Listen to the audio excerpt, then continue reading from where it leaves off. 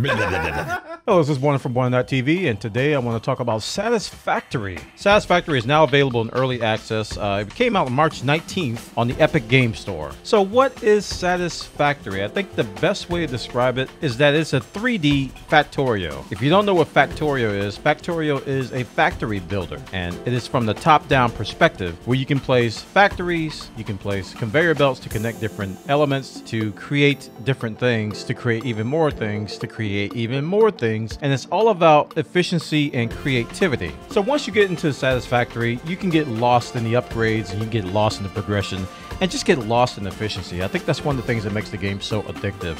You'll find better ways to do things all the time, and it's easy to get lost in that sort of a cyclic type of thing where you're trying to be more efficient and trying to build more and more things. It's a beautiful 3D world which adds to this, and it gives you an exploration element.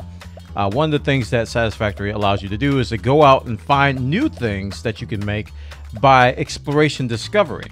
For example, you can find a green slug, which then can be converted into a powerful battery, which allows you to overclock your machines. Now keep in mind that Satisfactory is in early access and it's hard to recommend any game that's in early access. But I'm proud to report that the game is very stable, works very well for $30, and I think you'll get your money's worth. So what's the replayability, what's in-game like? I can tell you that replayability comes into optimization and the different biomes. When you first start a game, you get three different difficulties. Uh, the first difficulty is an Earth-like, the second one is a desert biome, and the third one is a rainforest, very dense forest, uh, which is a lot harder to build in. So they increase in difficulty. That adds a lot to the replayability. Also, you want to make things more efficient, and that causes you to start over many, many times.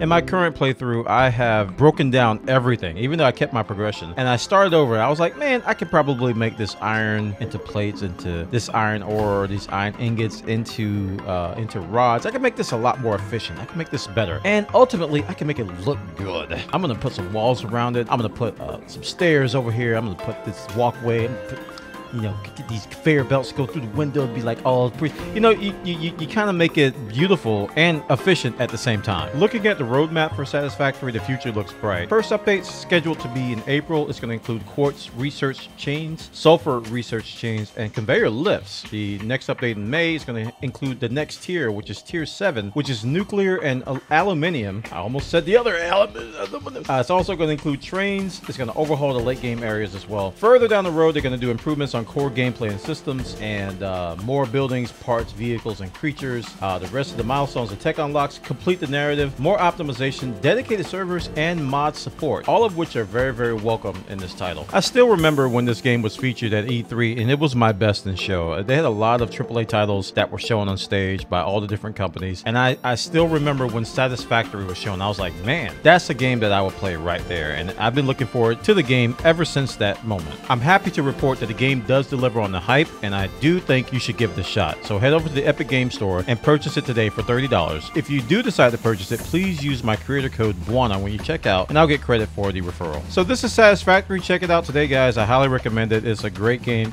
You can consume many hours. Definitely worth the $30 price tag, and uh, I think you should definitely check it out. Did I say that already? I think I did. Thank you for watching the video. If you do enjoy my content, click that subscribe button and ring the bell. Also, you can join my Patreon. Go to patreon.com slash BWANA, and you can contribute as little as $1 a month to help me out. This is how I make my living. You guys make it happen. Thank you so much for watching, and I'll see you next time.